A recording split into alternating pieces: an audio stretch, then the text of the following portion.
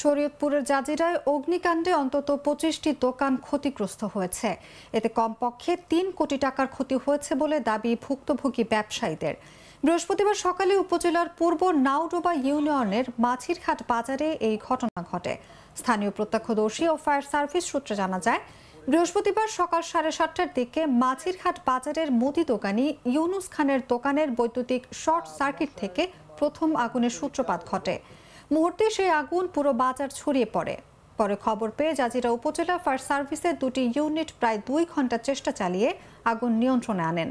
তবে এর আগেই অন্তত পঁচিশটি দোকান পুড়ে যায়।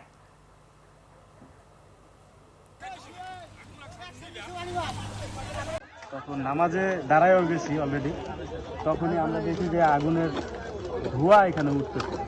তো স্বাভাবিকভাবে আজকে যেহেতু ঈদের নামাজ, সবাই সমস্ত দোকান বন্ধ করে দিয়ে আমরা ঈদের নামাজের জন্য সবাই গেছি। দোকানপাট সমস্ত কিছু বন্ধ ছিল। আর আমাদের এইখানে হচ্ছে হোলসেলারের একটা দোকান ছিল। আমাদের দোকানটা ছিল হোলসেলের দোকান। এই আমাদের চরাঞ্চলে যত দোকান আছে, সমস্ত দোকানে আমরা এখান থেকে পাইকারি মাল বিক্রি করতাম, সমস্ত দোকানে। আমাদের থেকে পাইকারি নিয়ে তারপর তারা বিক্রি করতো। আমাদের এই পাইকারি দোকানটাতে মিনিমাম এক দেড় কোটি টাকার মাল ছিল শুধু স্টকে পাঁচটা গোডাউনের মধ্যে।